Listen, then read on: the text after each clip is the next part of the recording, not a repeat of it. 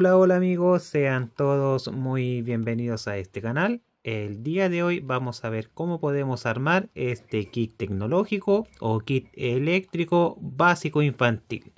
No sé cómo lo conocen ustedes, escríbanos en los comentarios. Cuando adquiramos un kit de esto, hay que verificar que la ampolleta se encuentre en buen estado antes de comprarlo, ya que si no, no funcionará. Se comprueba igual que una ampolleta normal, con, verificando que su filamento se encuentre bien. Eh, cuando lo abramos, lo vamos a verificar. Depende del kit que ustedes compren, eh, deberán comprar algunas cosas adicionales en mi caso no viene incluido un interruptor, el cual aquí yo lo tengo. Lo he comprado en una tienda de electrónica. También tengo las dos baterías, que tampoco vienen incluidas en mi caso.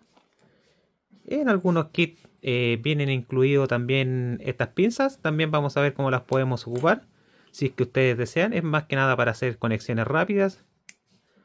Y tenemos un pulsador si ustedes no saben cómo funciona un pulsador, durante el transcurso de este video veremos cómo funciona este pulsador. Estas cosas también yo las he comprado por separado en una tienda de electrónica. Vamos a abrir para ver qué es lo que nos incluye nuestro kit de electricidad básica.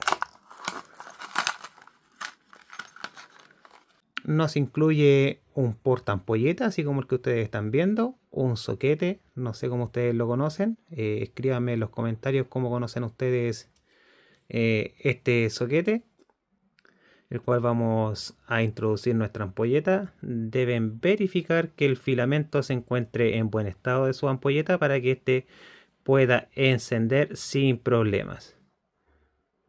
Creo que se alcanza a ver. Ahí sí. Tenemos acá nuestro portapila, el que ustedes están viendo aquí, el cual viene con dos cables, así tal cual como se aprecia. También nos incluye nuestro motor, el que ustedes están viendo acá, viene con dos terminales. Este motor da lo mismo como nosotros lo conectemos. Eh, si lo conectamos con un positivo al lado izquierdo va a girar para un sentido y si cambiamos el orden de los cables sencillamente va a girar para el otro lado. Eso ya lo vamos a ver a continuación cuando ah, realicemos las conexiones. Y también nos trae esta hélice para que nosotros podamos apreciar eh, de mejor forma el sentido de giro. También nos incluye cable, así como ustedes lo están viendo. A veces puede ser eh, muy poco, así que tal vez van a necesitar algo adicional. Tal vez eh, cable eléctrico de cuando hicieron alguna instalación en su hogar o tal vez puedan comprar uno en ferretería o en tiendas de electrónica podemos encontrar algunos así que nos facilitaría para poder hacer las conexiones. Estos cables es básicamente un cable pelado el cual le hemos unido una pinza caimán. Eh, digamos que es esta pinza. Sencillamente le agregamos un cable, le retiramos una parte plástica y en esta parte le agregamos el cable. ¿Y para qué nos sirve esto? Para hacer una conexión más rápida Así de esta forma, como ustedes lo van a ver a continuación. A continuación vamos a colocar nuestras pilas en nuestro portapilas. Es muy fácil de colocar, así como ustedes lo están viendo. Incluso si tienen dudas, su portapilas incluye la dirección en la cual debe ir instalada su pila. Luego vamos a pelar nuestros cables aunque aquí están un poco pelados, pero es bastante poco. Para eso yo me voy a apoyar con una tijera. Si ustedes tienen un alicate o un pelador de cable, mucho mejor. La idea es cortar la funda del, del cable, pero que no pase eso. Con mucho cuidado, o si no, con un cuchillo, le tratamos de sacar así para que queden los pelitos a la vista. Ahora, una vez que tengamos pelados nuestros cables, la primera prueba que vamos a hacer es conectar un cable en cada patita de nuestra portalámpara o portampolleta. En este caso da lo mismo, solamente basta con que la toquemos con las manos, así como ustedes lo están viendo, y esta debiera de encender. Así está encendido. Maravilloso. Esto no da la corriente, así que eh, no tengan miedo. Así de fácil es poder prender nuestra lámpara. Esto es como primer paso. Nosotros aquí podemos pasar el cable por el agujero que trae nuestro portalámpara. Ahí. Y le podemos dar un par de vueltas. para poder afirmarlo. Pero todavía no lo vamos a hacer ya que esta es una pequeña demostración. ¿Ve? Así lo podemos hacer.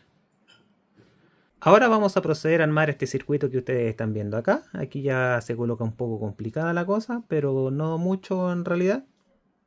Vamos a colocar acá nuestro portapilas para que ustedes vean que es fácil. Y sencillamente vamos a seguir la indicación de los cables, uno para allá y el otro para abajo. Así de fácil. Así como ustedes están viendo. Aquí vamos a colocar nuestra portalámpara y acá arriba vamos a necesitar un interruptor que vamos a colocar acá. Y vamos a necesitar un cable adicional. Lo vamos a dejar ahí. Y por último vamos a colocar otro cable en esta posición. Y el otro va a terminar en el otro que tiene la patita nuestro interruptor. Así de fácil va a ser armar este circuito. Lo haremos a continuación para que ustedes lo puedan ver. Ahora vamos a proceder a cortar el centro de nuestros cables, los que venían con nuestro kit, para poder separarlos. Así como ustedes lo van a apreciar a continuación. Una vez tengamos cortado, ahí subdividido, y lo empezamos a estirar para separar los cables. Así de fácil es separar el cable que venía incluido. Vamos a tomar una de las puntas de nuestro cable, el que sale de acá del portapila, y lo vamos a introducir en el agujero que trae eh, nuestro interruptor. No sé si se alcanza a apreciar. Y le vamos a dar una vuelta para abrazarlo. Y le podemos girar ahí para evitar que nuestro cable se salga. Incluso nosotros le podemos colocar una cinta aisladora para tener una conexión eh, más firme.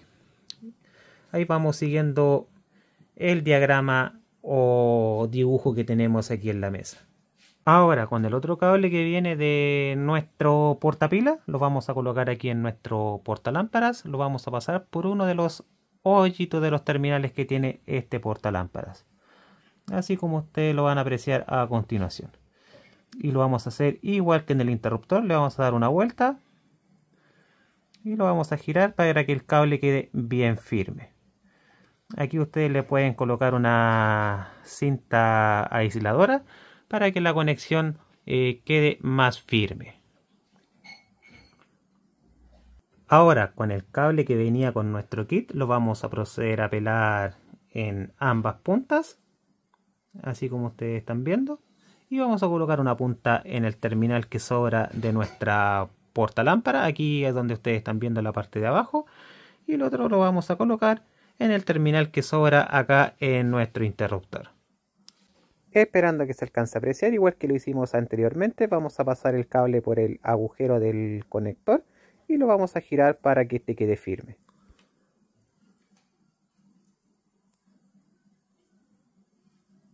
Ahora con el otro extremo del cable lo vamos a conectar en el terminal que sobra de nuestro interruptor. Igual que lo hemos hecho eh, con anterioridad, lo vamos a pasar por el agujero y le vamos a dar un par de vueltas a nuestro cable para que este quede firme y no se salga.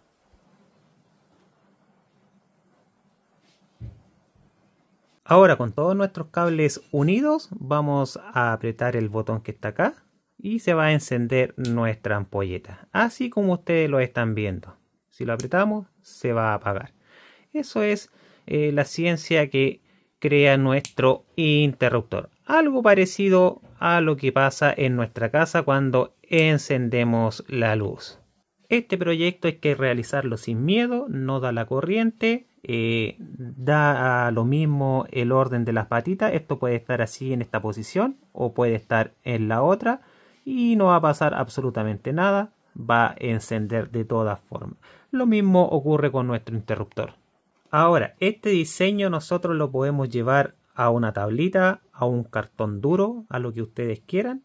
Pueden eh, dibujar este diagrama eléctrico y pueden ir colocando su cable ordenadamente para que se vea más eh, elegante, tenga una mejor presentación y nosotros lo podemos ir pegando con silicona caliente o alguna otra alternativa que ustedes deseen.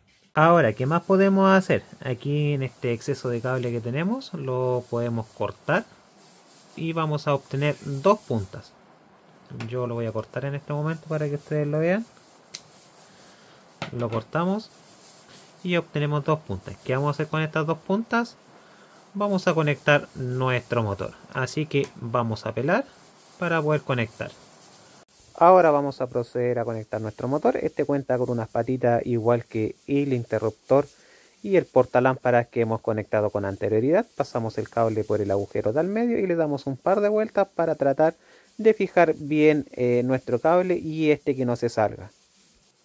Luego repetimos el proceso con la patita restante y con la otra punta del cable lo enroscamos ahí para que no se salga, así como ustedes lo están viendo en el video. Acá yo ya tengo todo unido, así como ustedes podrán ver. Ahora hemos agregado el motorcito. Yo lo voy a tomar para que este no pegue en la mesa cuando gire su hélice. Así que vamos a proceder a apretar nuestro interruptor para ver qué es lo que pasa. Como ustedes podrán ver, eh, comenzó a girar nuestro motor y a la vez también encendió nuestra ampolleta. ¿Qué podemos observar aquí en este experimento? Que ahora la ampolleta tiene menos luz, menos intensidad. Eso pasa porque nuestro motor está consumiendo más energía. Y como les dije con anterioridad, si nosotros conectamos intercambiado los cables en nuestro motor, no pasa absolutamente nada. Sencillamente este va a girar al lado contrario al que está girando en este momento. Va a funcionar de todas formas.